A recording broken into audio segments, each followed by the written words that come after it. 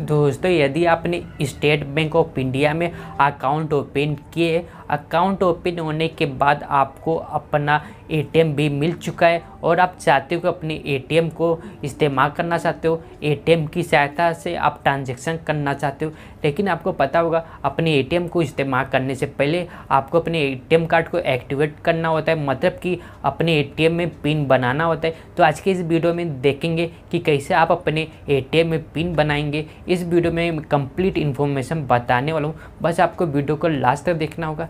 Channel पर पहली बार visit किए तो चैनल को सब्सक्राइब कर लीजिएगा। तो चलिए वीडियो को शुरू करते हैं।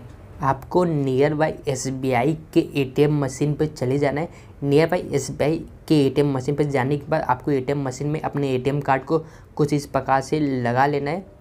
एटीएम मशीन में एटीएम को लगाने के बाद आपको कुछ टाइम के लिए वेट करेगा इस प्रकार से मैसेज देखने को मिल जाता है। इस मैसेज में बताया बताएगा अपने एटीएम को नहीं निकालना है।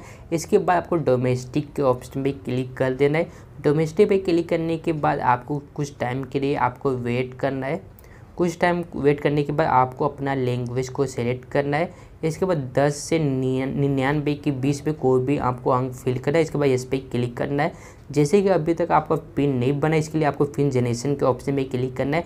आपको अपना अकाउंट नंबर फिल करने के बाद फ्लैश एप कलेक्ट के ऑप्शन पे क्लिक करेंगे। इसके बाद जो भी आपके बैंक अकाउंट में मोबाइल नंबर लिंक है, वह मोबाइल नंबर आपको फिल कर देना है। मोबाइल नंबर फिल करने के बाद आपको फ्लैश इप कलेक्ट के ऑप्शन पे क्लिक कर देना है। क्लिक करने के बाद आपको कुछ टाइम के लिए वेट करना है।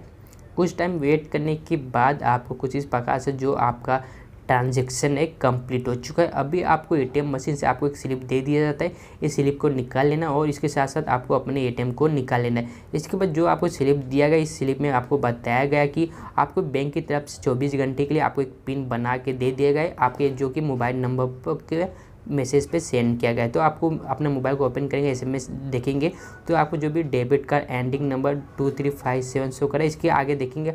आपको एक फिगर में जो कि आपका एटीएम पिन है चौबीस घंटे के लिए, आपको वो पिन को चेक कर लें, जो कि एट वन थ्री फोर, वो मेरा जो कि एटीएम का पिन है चौबीस घंटे के लिए, मुझे ये इस आपको इसको याद कर लेना, इसके बाद दोबारा से आपको अपने एटीएम में मशीन को लगा लेना है एटीएम कार्ड को। एटीएम कार्ड को लगाने के बाद आपको कुछ इस प्रकार से मैसेज देखने को मिल जाता है। इसके बाद आपको डोमेस्टिक के ऑप्शन पे क्लिक कर देना है। डोमेस्टिक पे क्लिक करने के बाद आपको कुछ टाइम के लिए वेट करना है। कुछ टाइम वेट करने के बाद कुछ इस प्रकार से पेज देखने को मिल जाता है। आपको दस से निन्यान, निन्यानवे के बीच में कोई भी अंक फिल करना है। इसके बाद यस पे क्लिक करना है। इसके बाद आपको जो भी मोबाइल नंबर पे सेंड किया गया एस में, आपको वो अब नंबर फिल कर देना है। नंबर फिल करने के बाद आपको एक बैंकिंग के ऑप्शन पे क्लिक कर देना है। इसके बाद आपको पिन चेंज पे क्लिक करेंगे। इसके बाद आप जो भी अपने मनपसंद का एटीएम पिन बनाना चाहते हो, वो एटीएम पिन फिल कर देना है। इसके बाद दोबारा से आपको वही पिन को फिल, पिन फिल कर देना जो आप बनवाना चाहते हो पिन। इसके बाद आपको कुछ टाइम के लिए वेट करना कुछ टाइम वेट करने के बाद देखेंगे, आपको जो भी ट्रांजेक्शन है कंप्लीट हो चुका है। अभी आपको अपने एटीएम मशीन से अपने डेबिट कार्ड को निकाल लेना। इस एटीएम में पिन बनाने का प्रोसेस आपका कंप्लीट हो चुका है। अब भी आप अपने एटीएम को कहीं पर भी इस्तेमाल कर सकते हो। एटीएम की सहायता से आप कोई भी ट्रांजेक्शन कर सकते हो। तो इस प्रकार से बहुत ही आसानी से अपने एटीएम में पिन बना सकेंगे। यदि वीडियो अच्छा लगे तो वीडियो को लाइक कर दीजिएगा।